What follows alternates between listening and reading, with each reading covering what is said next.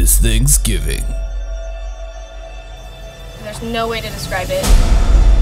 A group of teenagers battle the odds, That's what happens in Mexico. So. putting everything on the line. Ah! Ah! Sacrificing blood, Have to get stitches. sweat, First time I've ever sweat in my life.